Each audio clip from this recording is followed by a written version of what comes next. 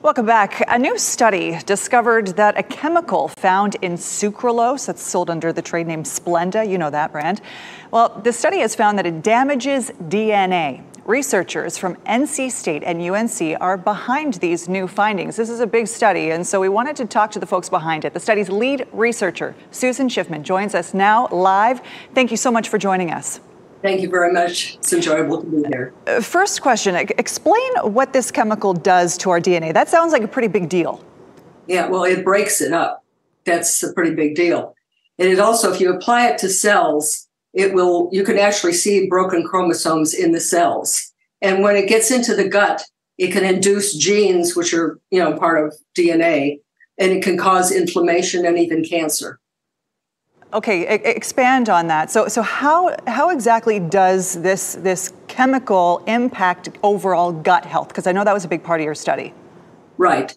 Uh, what it does is it damages the little connections between the cells, and it can let compounds, uh, let, let ingredients, for example, in the food supply or other compounds le- leach into your body that should be uh, excreted in the in the uh, from the intestines.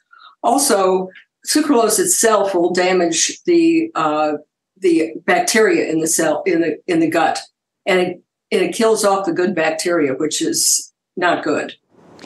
How much Splenda uh, or sucralose needs to be consumed in order for this to be harmful?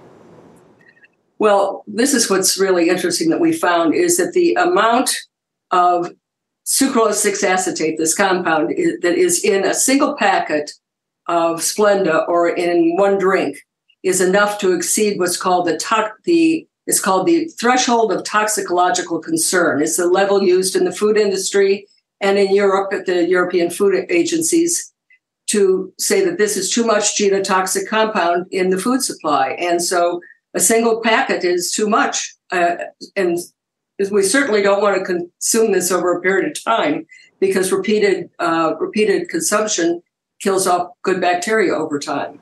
Okay. It also bioaccumulates. Okay, mm-hmm. one packet. That that's pretty jarring because there are so many people who, who use Splenda as an artificial sweetener. So how do how do other artificial sweeteners compare risk wise? Okay, risk wise, sucralose is worse. It kills off the good bacteria with repeated use. It forms toxic compounds called chloropropanols when you heat it, like when you make a cake. It's fat soluble, so it will bioaccumulate in your body and it damages the intestinal uh, membranes, which causes things like irritable bowel syndrome. So basically, the data show it's not a good idea to, to consume sucralose. So With, if you have some yellow packets or you have drinks in the house that have sucralose in them, I would say discard them. Wow, uh, a really enlightening study. Thank you so much for joining us here on WRAL. Susan Schiffman joining us live.